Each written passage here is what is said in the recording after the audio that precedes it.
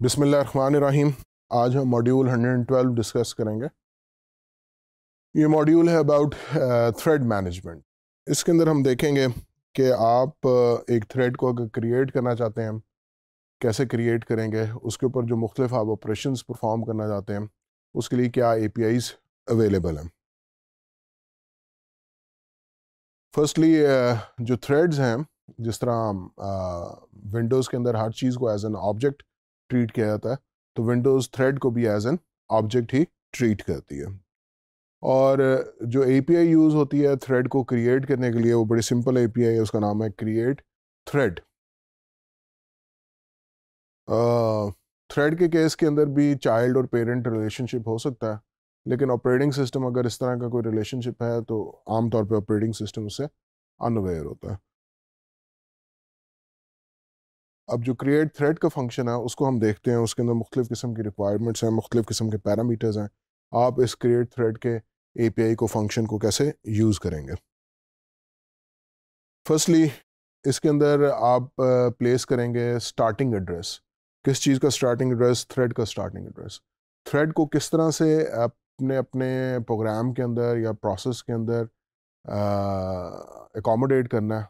Thread जो है, वो बेसिकली एक फ़ंक्शन की तरह ही होगा। एक फ़ंक्शन की तरह होगा और उस फ़ंक्शन का जो एड्रेस है वो आपने क्रिएट थ्रेड के अंदर स्पेसिफाई करना तो अगर thread as a function implement हुई हुई है तो उस केस के अंदर जो फ़ंक्शन का नाम होता है, वो उसका एड्रेस होता है। आप क्रिएट थ्रेड के अंदर फ़ंक्शन का नाम स्पेसिफाई करेंगे, जिसको एज अ थ्रेड आपने यूज़ करना है। फिर इसके अलावा हर थ्रेड हमने प्रीवियसली डिस्कस किया था कि जी हर थ्रेड की अपनी एक स्टैक स्पेस होती है। अगर एक प्रोसेस के अंदर नंबर ऑफ़ थ्रेड्स हैं तो हर थ्रेड के लिए अपनी एक स्टैक स्पेस रिज़र्व होगी और वो स्पेस जो है ऑफ़ कोर्स प्रोसेस की ही स्पेस में से आती है।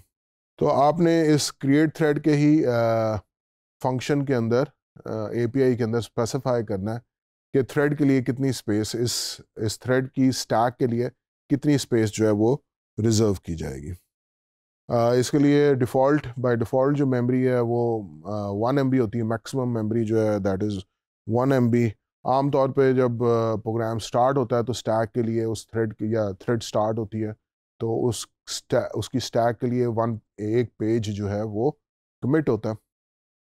और जूं जूं स्टैक बढ़ती जाती है ग्रो करती जाती है, और पेजेस भी उसके अंदर ऐड होते जाएँगे। फिर इसके अलावा एक और आपको आर्गूमेंट पास करना पड़ेगा, वो आर्गूमेंट क्या चीज़ है?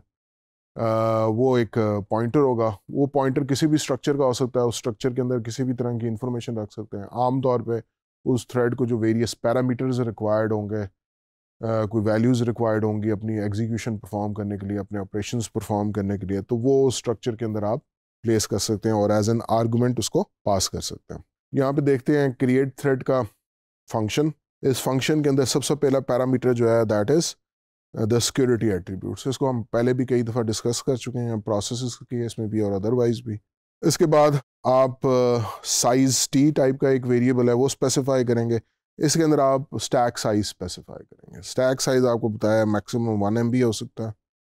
फिर इससे जो नेक्स्ट पैरामीटर है, वो बड़ा इंपॉर्टेंट है। ये पैरामीटर जो है, इधर यहाँ पे एल पी स्टार्ट एड्रेस ये बेसिकली थ्रेड का स्टार्टिंग एड्रेस है। और थ्रेड एज अगर फ़ंक्शन इम्प्लीमेंट हुई हुई है तो उस फ़ंक्शन का जो नाम होगा, वही उसका एड्रेस होगा। जिस तरह इस एग्जांपल के अंदर देख सकते हैं कि अगर ये थ्रेड का प्रोटोटाइप है, आपका थ्रेड फ़ंक्शन के नाम का जहाँ पे प्रोटोटाइप गिवन है तो इस प्रोटोटाइप का जो नाम है थ्रेड फ़ंक्शन थ्रेड फंक ये जो है, यही यूज़ होगा as starting address of the thread function इस फ़ंक्शन को क्या रिटर्न करना चाहिए? एक डबल वर्ड रिटर्न करना चाहिए और इसको पैरामीटर्स के अंदर एक लॉन्ग पॉइंटर टू वॉइड लेना चाहिए। इस तरह का जो फ़ंक्शन होगा, उसी फ़ंक्शन के एड्रेस को जो है आप यहाँ पे प्लेस कर सकते हैं। Next L P thread param है। ये बेसिकली एक पैरामीटर है, एक आर्गूमेंट है, जो कि आप थ्रेड को पास कर सकते हैं। ये एक पॉइंटर होगा। उस पॉइंटर के अंदर किसी स्ट्रक्चर का एड्रेस पड़ा होगा और स्ट्रक्चर के अंदर वो सारी इन्फॉर्मेशन होगी, जो कि आप थ्रेड को पास करना चाहते हैं एज एन आर्गूमेंट तो जितने भी आर्गूमेंट्स हैं उसको आप एक स्ट्रक्चर के अंदर आमतौर पर रखेंगे और उस स्ट्रक्चर का जो पॉइंटर है, उसका जो एड्रेस है, उसका रेफरेंस जो है, वो आप एल पी थ्रेड पैरम के थ्रू थ्रेड को पास कर सकते हैं।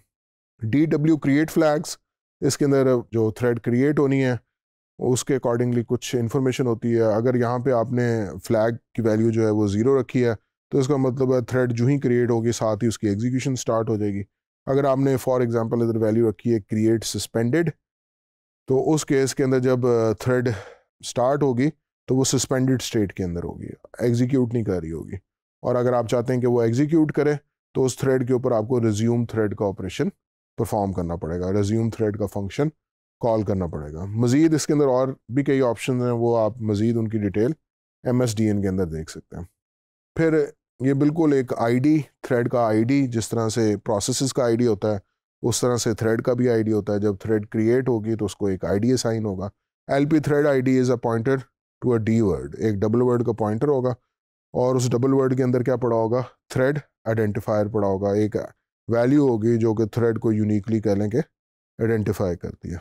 अगर आपने यहाँ पे नल प्लेस किया तो उस सूरत के अंदर आ, कोई भी आइडेंटिफायर जो है वो रिटर्न नहीं होगा। और अगर यहाँ पे नल नहीं प्लेस किया आपने ये पॉइंटर प्लेस किया तो इस पॉइंटर के अंदर थ्रेड को जो भी आइडेंटिफायर असाइन हुआ है वो आइडेंटिफायर प्लेस हो जाएगा।